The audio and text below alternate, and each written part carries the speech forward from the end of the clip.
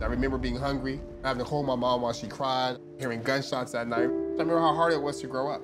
I think that quote, be the change that you wish to see in the world, is super important because oftentimes people get scared to try to make change because it's like, well, what if it doesn't work? The bigger question is, what happens if you don't do anything?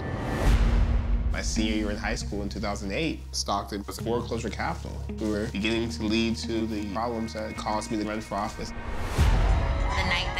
Was elected mayor is the same night that Donald Trump was elected. This victory is yours. If certain people had invested in me, I wouldn't be where I am. And I get really excited thinking about what if we did that before a whole city. The issues we're trying to solve, mainly violent crime, poverty, and homelessness, is gonna take some risk. Your city's investing money in your future. They tried to bury you, but they didn't know you were seeds. Joy Almendares.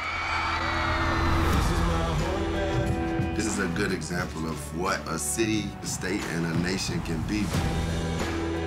The Stockton story is this idea of redemption, taking what was bad and trying to make it good. Good morning. You need band-aids or anything? People get it. They're excited. They've never had a mayor like this before. I'm tired of talking about where we've been. I'm more interested in discussing where are we going and then how do we get there. How do we upset the setup and continue to push for a world that gives everyone a chance?